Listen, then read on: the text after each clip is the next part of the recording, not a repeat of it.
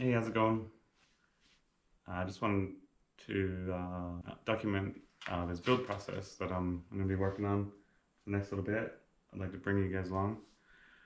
And uh, we basically got a, uh, Toyota uh, 1F Z FE, which is a 4.5 liter straight six.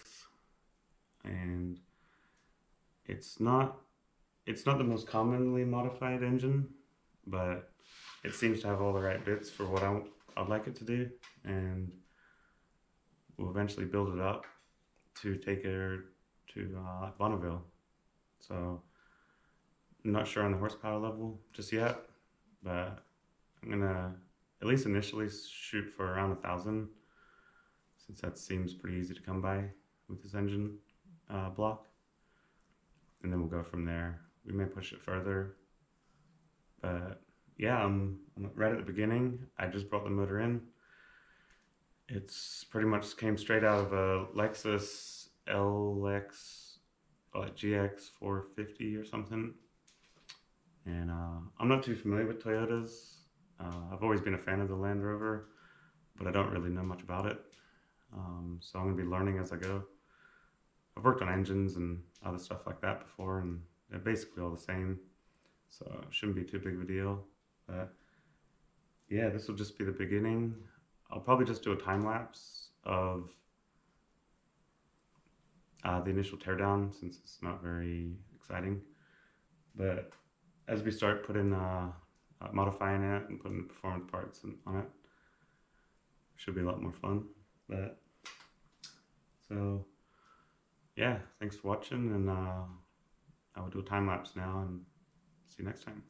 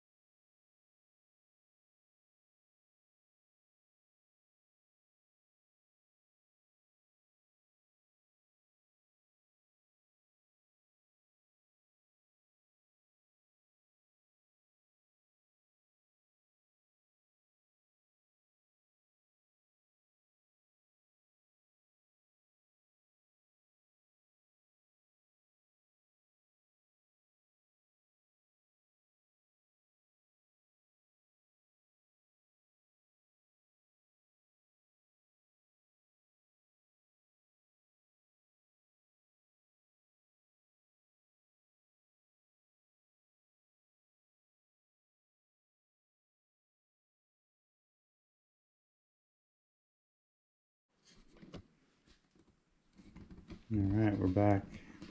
So, it wasn't too bad. It only took about an hour, maybe a little over. Um, got mostly, you know, the preliminary tear down. Get an idea of what's going on. Let's see, it's pretty, it's pretty dirty, but I guess that's to be expected. So,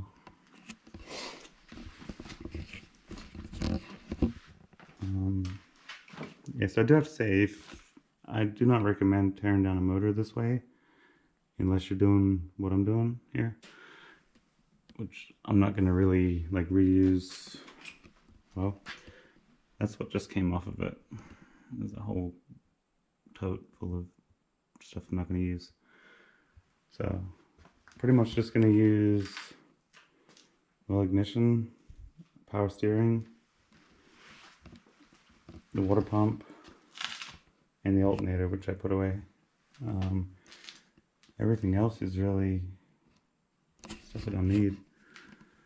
So, yeah, if you're gonna uh, take apart one of these motors and put it back together the way it came, you definitely got to be a lot more cautious than I just was. Um, but I, I know I wasn't going to use any of that. That stuff all just gets thrown in the corner, basically.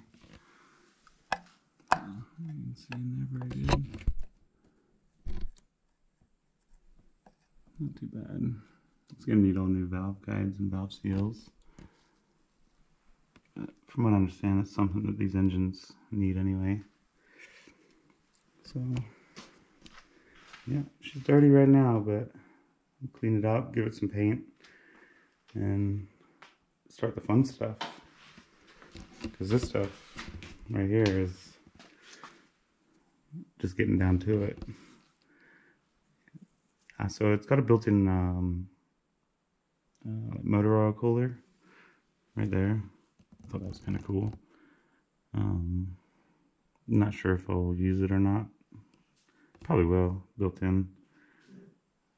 Um, I know I gotta modify the pan because it's a little, it hangs down a little low from what I want. So I'm gonna try to squeeze this into a little car, most likely. So shrink it up as much as possible. Uh, save room for the turbo.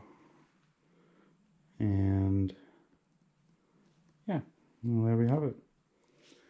So we'll see you next time. We'll do a cleanup and yeah, we'll probably pull the head off, pull the off the oil pan, and the like uh, front covers here. Tear into it a little bit more. That's a good start. Uh, considering this will probably be a pretty long project, um, quite satisfied with it right now. Uh, the motor's not as big as I thought it was, which is also nice. Um, yeah, anyway, that's it for this time. We'll see you uh, in the next one. Okay.